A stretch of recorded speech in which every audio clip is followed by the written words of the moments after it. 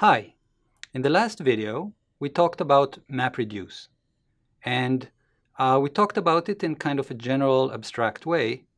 This video we're going to see how MapReduce uh, was used as a central piece of uh, some new um, distributed systems that uh, were invented uh, in Google.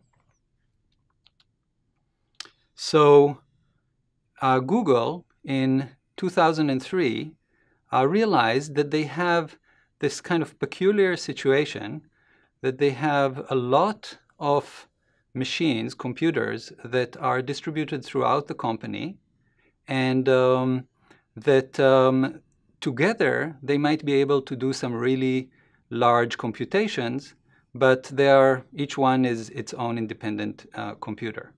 So what they um, designed is a system called uh, HDF Google File System, which in which there is a master that basically knows where all the data is, and the data itself is distributed across many um, computers um, along the company.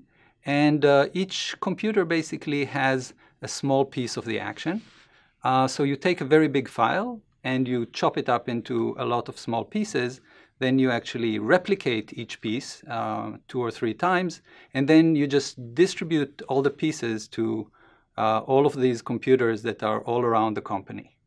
And um, now you basically have the system that you can use to, in parallel, process this very big file because the data is already sitting uh, on the many computers.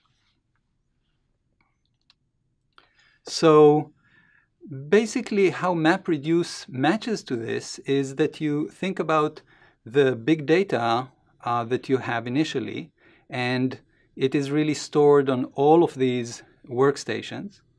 And each workstation can do map operations on the pieces of data that it has and it can start doing reduce operations as much as it can on the piece it has. Only when it finishes its own reduce, then does it need to communicate to, with other computers. So uh, this really allowed um, very massive computations across the company uh, using very standard hardware um, and, uh, and systems and networking. So that would give rise to Apache Hadoop, which was basically the open source implementation of the Google file system and MapReduce.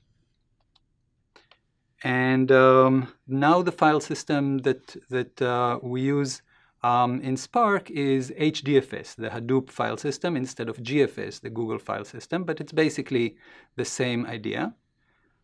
And um, the compute system before it was Google MapReduce, now it's called Hadoop MapReduce.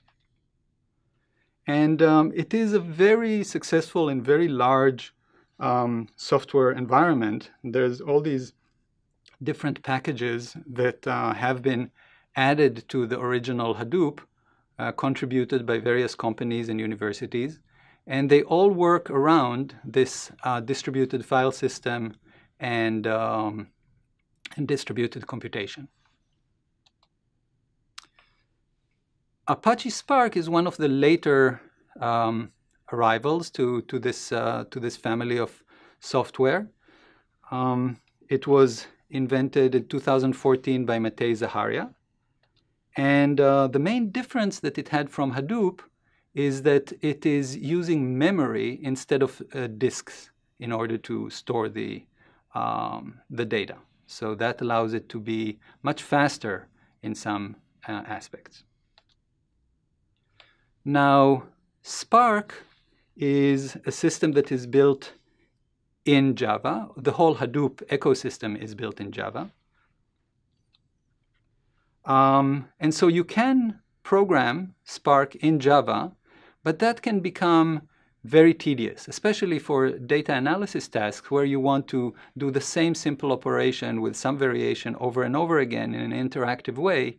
Using Java in that context is just uh, very tedious. So they invented a different language that would go on top of, uh, of uh, Java, but is really a Java-like program, uh, programming language called Scala. And that is the programming language in which the bulk of uh, Spark is programmed.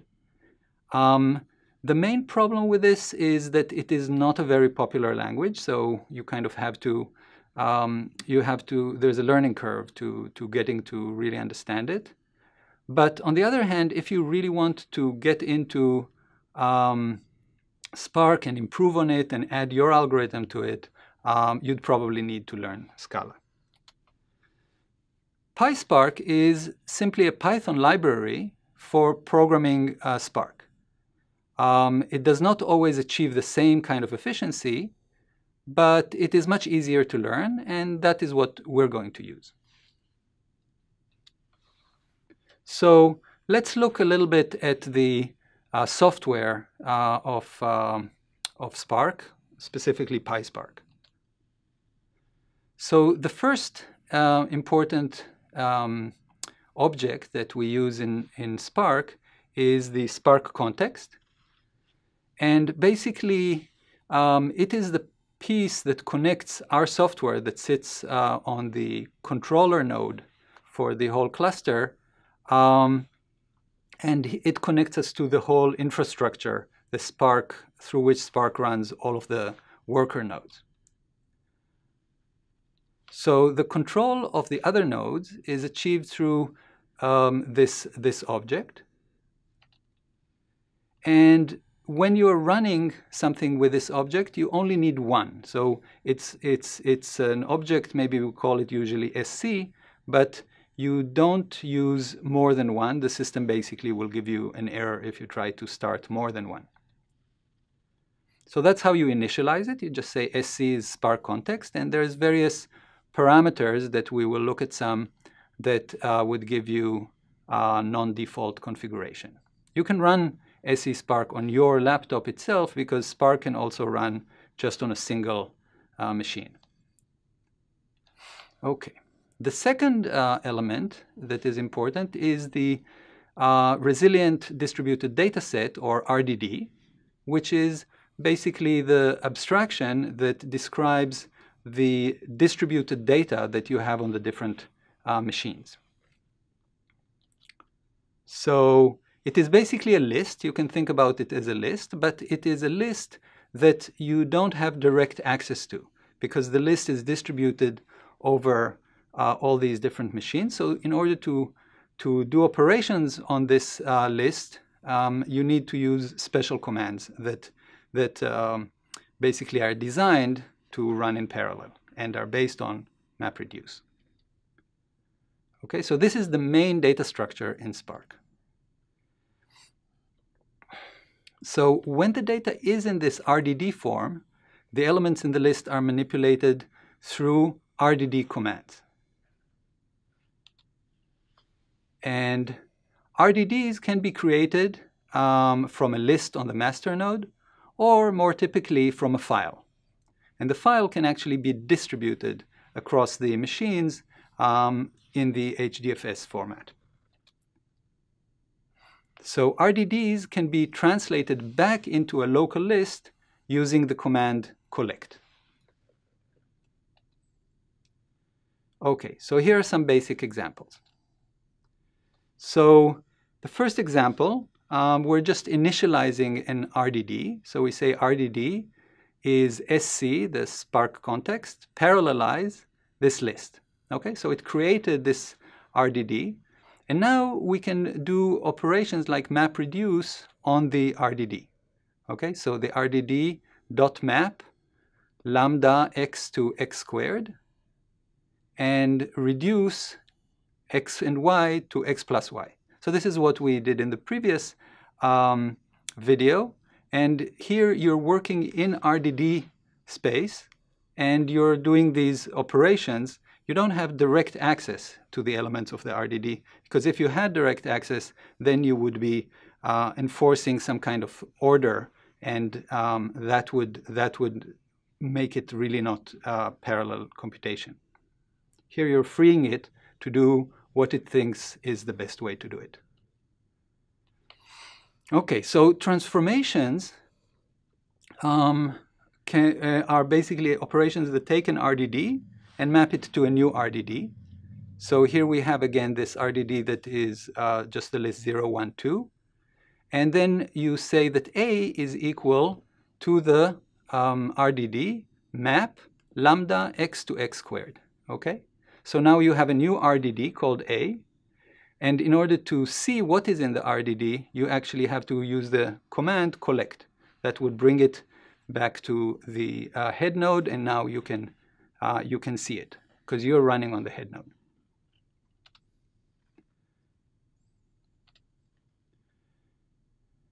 Now, the thing to remember is the, the, the power of uh, Sparks and RDD is when you have really, really large um, uh, arrays. Okay, so arrays of maybe uh, 10 million or um, 1 billion elements. Okay, and the whole power is that you're distributing it to all of these machines, and then you can do the computation in parallel of course, you're always tempted to just collect all of the data, to have it um, just on your machine, and then it's much more intuitive and easy to compute with.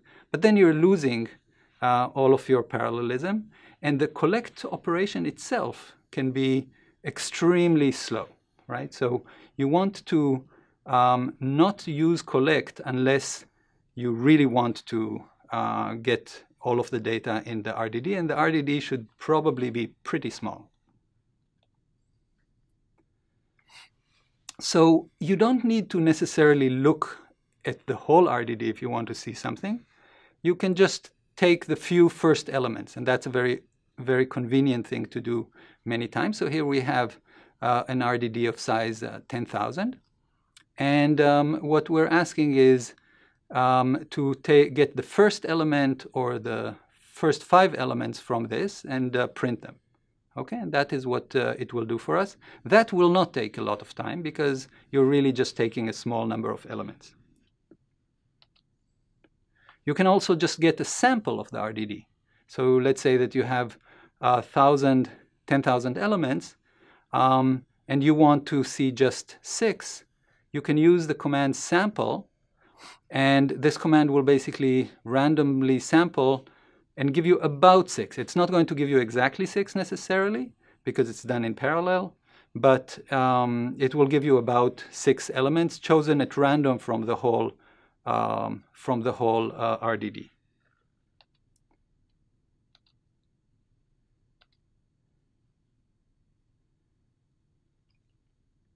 So the result of that is a new RDD that is much smaller, and you still need to collect it to make it, uh, to, to see it as a list. Sometimes you want to do that simply because you're debugging your program, and you're, um, you want to try your program first on a small uh, RDD before you try it on the big RDD that might take uh, a few minutes uh, before it computes. And sampling is in general uh, an operation that in machine learning we like to do.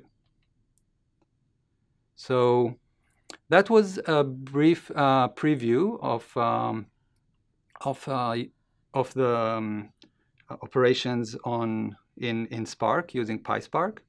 And the next video, we're going to look under the hood and see a little bit how it is all organized. See you then.